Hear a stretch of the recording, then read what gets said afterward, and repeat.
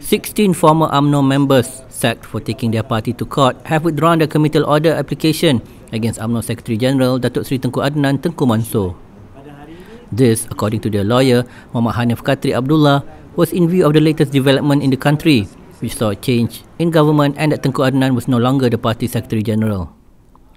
The matter was presented to the High Court before Judge Datuk Nordin Hassan today. Rayuan tersebut telah difailkan dalam masa yang ditentukan dan masih berada di mahkamah. Anak guam saya, uh, anak-anak guam saya berhasrat untuk meneruskan dengan rayuan tersebut melainkan melainkan isu undang-undang di situ iaitu sama ada Seksyen 18C Akta Penuduhan yang kononnya menghalang mahkamah daripada mendengar pertikaian berkaitan dengan masalah. However, Hanif said all his clients would continue to pursue their case at the Court of Appeal to seek UMNO's dissolution for not having its election within the prescribed time, thus violating its constitution.